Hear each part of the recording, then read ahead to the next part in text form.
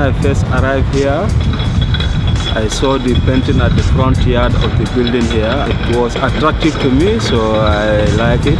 So I say, wow, how can I know people who do this? Because I like painting a long time and ask them if they can find me contact with a group that I can work with in painting to develop my skills technically and they meet me in contact with this group.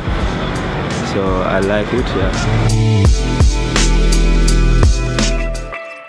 De samenwerking viel echt heel erg goed. Eh, het is echt een ontzettend leuk team van vaste medewerkers. Die weten ook echt iedereen heel erg te enthousiasmeren, een leuke atmosfeer te maken. Er komt een muziekje bij.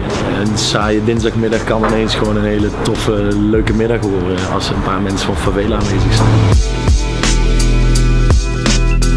First time I met Jeroen, I went there as an artist. It was a real job for something that I can do that I am good at. So it wasn't just like I want to go and paint, we actually participated in the process and Jeroen would ask us, what do you think about this and do you like these colors? So it was very nice experience. Ja, ik heb uh, gedaan die kant daar. Heb ik uh, werken met jullie in die kant ook, dat ik. De leukste ding dat ik geleerd van jullie dat is als sommige maken fouten, gemaakte fouten, dat jullie niet zeggen dat waarom je maakt die fouten en zo je moet die, die, die, die. Dat was echt leuk voor mij. Dat, ja.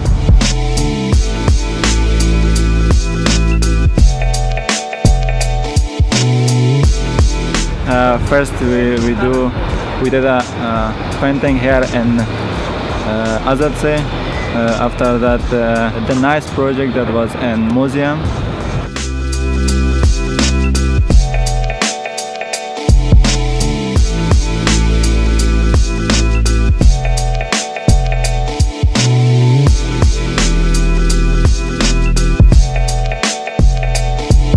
I want to learn uh, the modern way of painting technically and to develop my skills in, in painting uh, generally. I want to learn you know, good skills in painting. I met the crew and after a while they became your friends, so that's really good thing.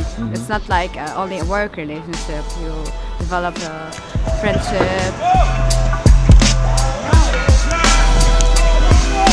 Het mag er niet altijd waar kom je vandaan, wie werken samen in deze projecten.